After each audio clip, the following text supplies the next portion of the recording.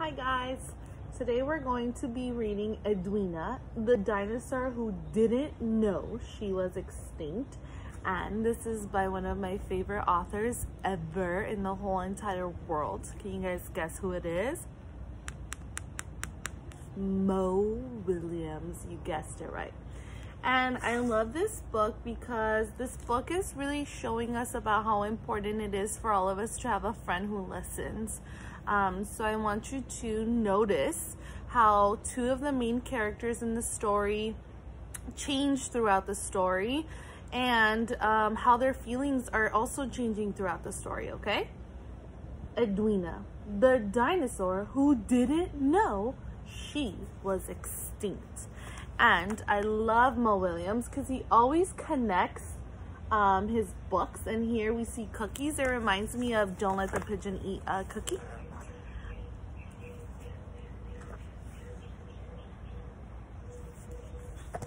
And Mo Willems is very talented. Not only is he the author, but he's also the illustrator of this book. Everybody in town knew Edwina.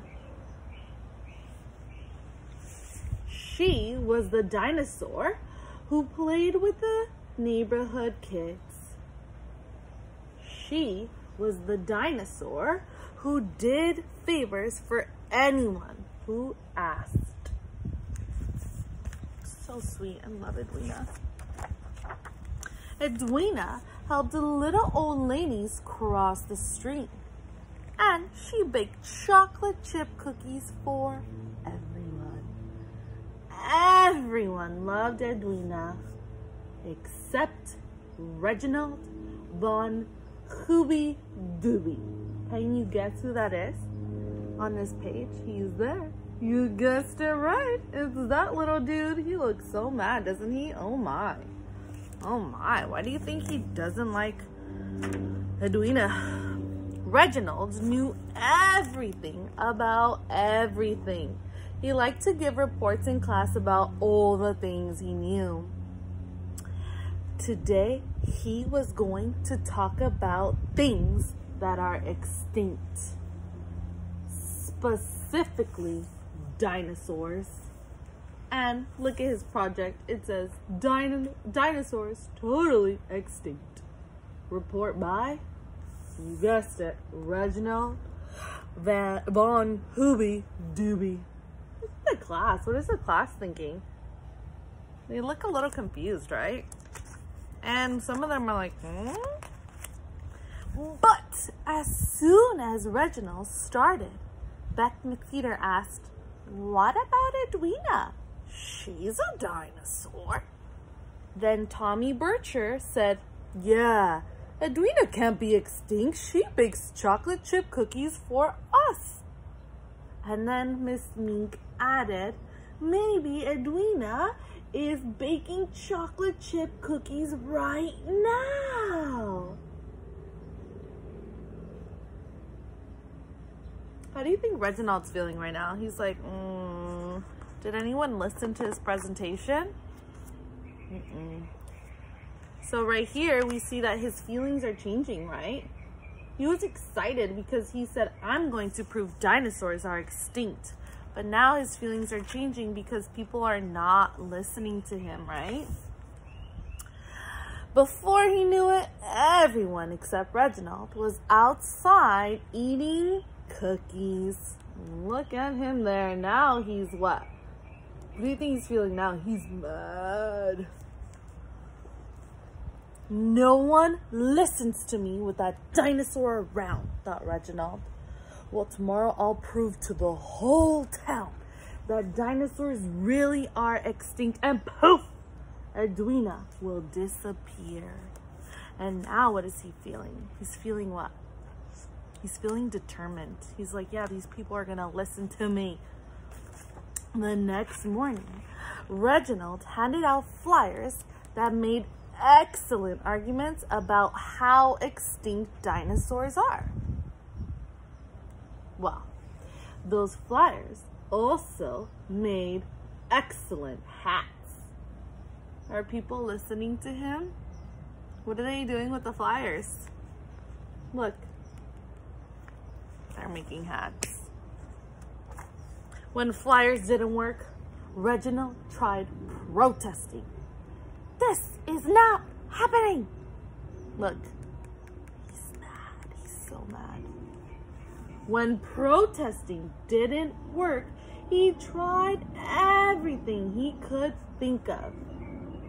What are some of the things he's trying? Mm-hmm. Mm-hmm. Yep. He's trying with music. He's trying with magic. But no one listened. Finally, Reginald broke down and cried.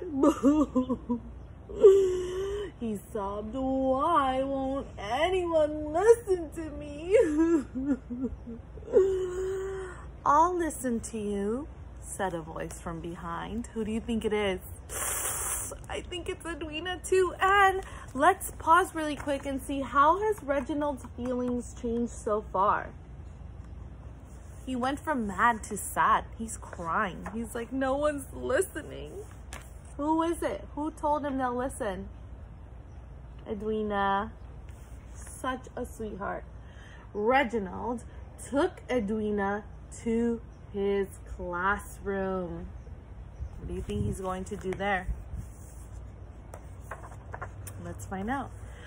Inside, Edwina listened to Reginald as Reginald told her the truth about dinosaurs.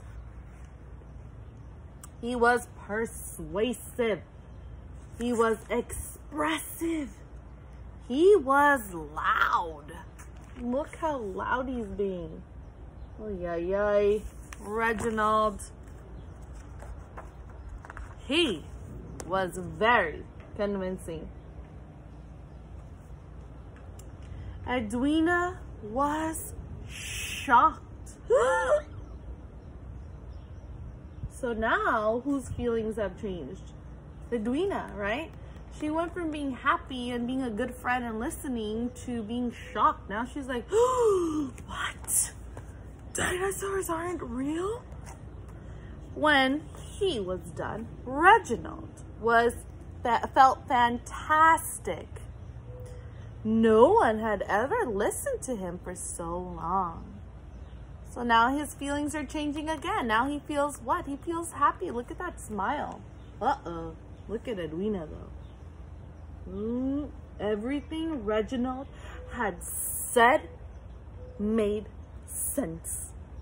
There was no doubt about it in Edwina's mind. She knew that she was extinct. Oh no. Look at her sad face. Oh no, poor Edwina. she just didn't care. Look at her. She was shocked for a moment. She was like, dinosaurs are extinct? But then she was like, up. And then she skipped out of the classroom. Look, she ran out of the classroom. Now his feelings have changed again. What is he feeling now? He's like, what? Where is she going? And by then, see, Reginald, neither did Reginald Van Hooby Dooby. He didn't care anymore either, right?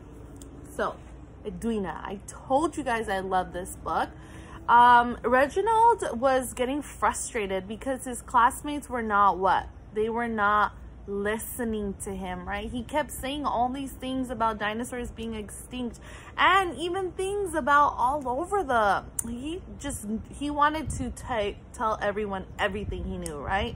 And no one ever listened to him and he was frustrated. But Edwina did what? She listened to him and by listening to him, then he felt better he just needed a friend to listen, right? And Edwina was that person for him. Edwina's amazing. She's a sweetheart.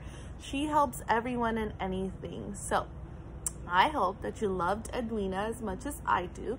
And I hope the next time you get to go to a library, you check out Edwina because it's such an amazing book, okay? Can't wait to see you guys next week.